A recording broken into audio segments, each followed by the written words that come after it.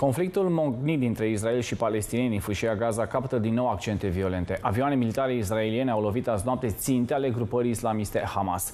Atacurile au avut loc în contextul în care un soldat israelian a fost împușcat în confruntările dintre protestatari și armata israeliană care au avut loc la granița dintre cele două entități.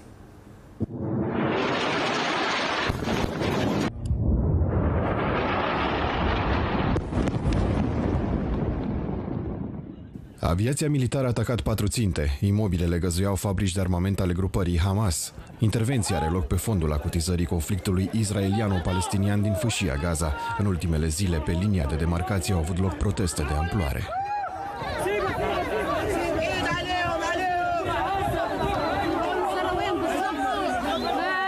Manifestanții palestinieni au încercat să escaladeze gardul care delimitează Israelul de Gaza. Încărcături explozive au fost aruncate de protestatari spre trupele israeliene.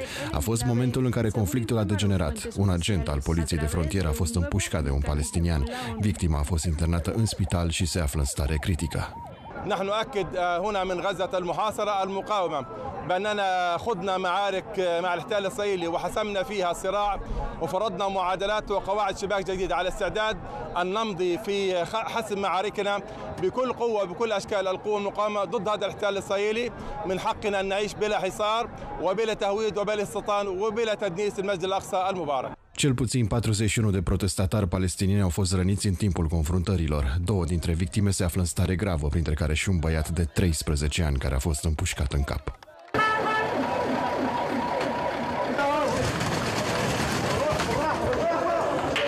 والله نقلنا شهيد الاصابات كلها من الراس والرجلين والبطن الاصابات كلها جان شوت يعني اطلاق ناريه مش فيش مطاط ولا كله اطلاق ناريه Noile violențe au apărut la trei luni după ce Israelul și gruparea Hamas au încheiat un armistițiu. În precedentul conflict de amploare dintre cele două părți, 250 de palestinieni și 13 israelieni au fost uciși.